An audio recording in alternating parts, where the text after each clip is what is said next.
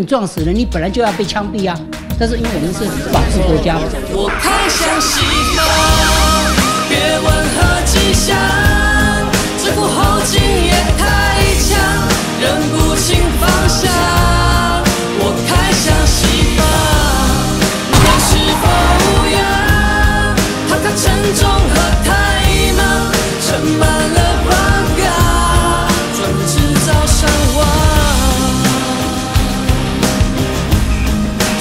酒驾就是直冲，这样都没有刹车哦，还想要逃跑。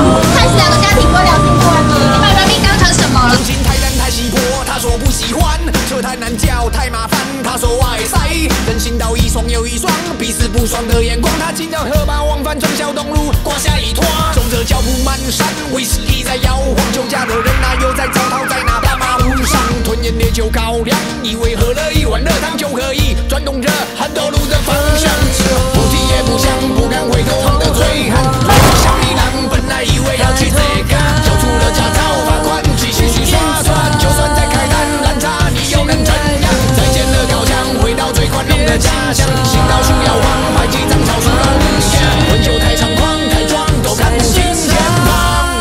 我太相信在这里下面狼别靠！台湾的做法恐怕已经是全世界最严格的。